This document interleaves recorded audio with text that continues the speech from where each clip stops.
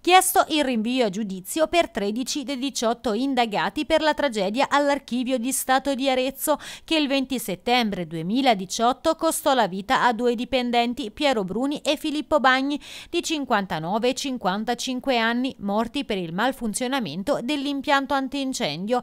I due impiegati infatti furono asfissiati dal gas argon micidiale ed invisibile che divora l'ossigeno per spegnere il fuoco. A chiedere il processo adesso il PM PM Laura Taddei. L'udienza preliminare è già stata fissata per il 19 gennaio 2021. Il reato contestato è quello di duplice omicidio colposo. Secondo la ricostruzione fatta dagli inquirenti, infatti un vetrino non originale ed una valvola montata al contrario nelle bombole di gas argon provocarono il dramma dopo che era scattato l'impianto d'allarme. Tra gli indagati ci sono il direttore dell'archivio e il suo predecessore, i progettisti e realizzatori realizzatori dell'impianto, la società che si era occupata di sicurezza e prevenzione, gli addetti alla manutenzione e chi operava in subappalto, i professionisti che si occuparono della conformità ed infine il vice comandante dell'epoca dei Vigili del Fuoco Antonio Zumbo.